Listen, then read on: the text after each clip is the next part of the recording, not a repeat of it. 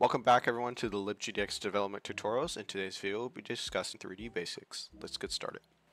There are two ways rendering in libgdx. One is using OpenGL, the second is using libgdx pre-built methods. Calling from OpenGL allows more customization when it comes to building your application, but it does require a basic knowledge and it can be a little bit more complicated for beginners. Using libgdx pre-built methods can make it much easier to understand how to render 3D objects, but you will also have less control when it comes to building your application though. In order for us to start rendering, we need something called a perspective camera. Now if you want to learn more about it, here's a video right here. Now, we need to get into a model. What is a model? A model contains data from materials. It's something where you collect vertices that position points in 3D space and you render to the screen. Second, we need a material. A material is what is focused on how the model should be rendered. For instance, you apply material, such as a color or texture, to your model in order for it to render correctly to how you want it. Now we need something called an attribute. An attribute is a piece of information that is given towards a model. Now there are three types that we are going to be talking about in this video. Texture, position, and normal. Lastly, we need something called a model instance. A model instance is referenced towards a model. It is a better way for rendering instead of creating model objects over again. So here's what we're going to do. So we're going to go to our tutorial game. We're going to click new Java class. We'll call this cube because we're going to be making a 3D cube. And then we're going to extend the application adapter. And then first we're going to define some fields. So we're going to do private model. We'll call this just model. And then we'll do private model builder, which is going to build the model. And then we're going to do private model instance, which is the instance that we just discussed. And then we're going to do private model batch, which is going to be the batch that's going to render it. And then we're going to do private texture, which is the texture that we're going to apply to it. And then we're going to do private camera. And then we want some way to control that camera. We're going to do first person controller, camera controller controller. We want to initialize or create a create method and then we want to initialize the camera. So we do camera equals new perspective camera. We're going to give the FOV 70. We're going to do gdx dot graphics dot get width so we can resize the viewport to the correct screen size and then we can do height and then we're going to do camera dot position dot set we're going to set it at the origin, 0, 0, 0. And then we're going to do camera dot near, which is going to be the near plane. And then we do camera dot far, which is the far plane. How far you can see in your 3D world. So we're going to set it to a thousand because we want to be able to see really far. And then we're going to do camera dot update. And now we're going to initialize our first person camera controller. We're going to do controller equals new first person camera controller and then we're going to pass in our camera. Then we're going to set the input processor using gdx.input.set input processor and pass in the controller. And then we're going to call controller.update to update the input processor. And then we're going to initialize our texture. So we do texture equals new texture. And then we're going to use our utils method, internal path. And then we're going to copy our texture, we're going to use the block texture. And then after that, we're going to initialize our model builder so we can be able to build our cube. Model builder equals new model builder. And I will have a link in the description for the GitHub repository of this class for those who want to learn more about it. And then we'll do model equals to model builder dot create box, but as you can see, there's a lot of methods here. Again, I recommend to you to play around with this class. There's a lot of useful things here. So we're going to use a create box. We're going to set our box to 16 by 16 by 16 units.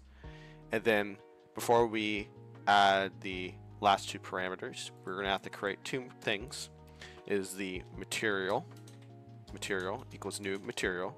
And then in here, this is where we're going to pass in our texture attribute. So libgdx does apply a lot of different attributes, and I will have a description to that page. So we have attribute dot create diffuse. Well, first, actually, we have to initialize our attribute, actually. create new attribute, and then we do attribute that create diffuse. And then we pass in our text in here. And then after that, we want to create our attribute. So we're going to use a long. We'll call this our bit mask attribute because it is using a bit mask. And then we're going to do usage dot position and then we're going to do usage dot texture attribute to add the texture. So we have attribute 0 and then we have attribute 1. So when we add the bit mask attribute, we are setting the position, which is the model that we are creating from the create box. And then we have the material, which is the texture, which is the information that's going to be holding. And then the normal is for lighting, those for extra vertices if you would like to have some. So first we're going to pass in our bit mask attribute. Alright. Then after that we're going to create our model instance. So we're going to go from here, which just says instance. We're going to do instance equals new model instance. Pass in our model. Alright. After that, we're going to initialize our model batch. So we're going to do batch equals new model batch. And also you can provide custom shaders in the parameter. As you can see, if we go up here, there's an object called shader provider and a directory for file handle for the vertex and fragment shaders. But for us, we're going to be using the default to the resize method so we can resize our viewport correctly. So we're going to do camera dot width equals to width, and then we're going to do camera dot height equals to height, and then we're going to do camera dot update to apply the settings, and then we're going to do controller dot update to apply the input controller settings. And then in our render method, we're going to do some GL. Make sure you import it. I'm going to be importing as a static import. Clear. Now we want to clear the color buffer. And then we want to clear the depth buffer. So that is gl dot gl color buffer bit, and that is gl20 dot gl depth buffer bit. Both of those. And then after that, we're going to do gl clear color, and we're going to set our color. Remember, this is RGBA. So our color is going to be kind of like this gray brown. And then we want to update our input. So we do controller dot update. And then we after that we want to update the camera. We do camera dot update. And then after that we're going to do batch dot begin because we want to start rendering. And then we pass in our camera, which has the matrix transformation from the camera in order to make the 3D viewport appear.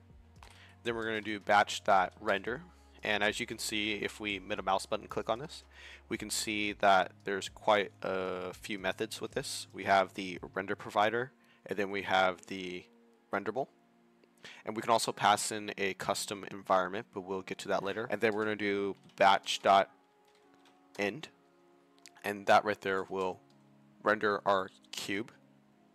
And then after that, we want to dispose of all of our resources. So we're going to do model. You don't use the instance. I mean, you can, but to use the model. Model.dispose. So this right here will dispose of the model in order for us to, and then after that, we should have our cube. Now, as you can see, you can see the results. I had to zoom out just a little bit because we kind of set it a little too big in the creation of the cube. Um, we can set it technically to one unit and that should be able to scale it down to a smaller size. There we go. I will have a link in the description for the GitHub repository. Um, for the tutorial series, I'll try to keep a focus uh, minimum 3D, but mostly 2D, because uh, it seems like you guys really enjoy watching to 2D tutorials and for libgdx. Um, and I'll try to keep it more uh, entertainment for you guys, so you guys can learn can grasp more knowledge from it. Alright, have a good one everyone.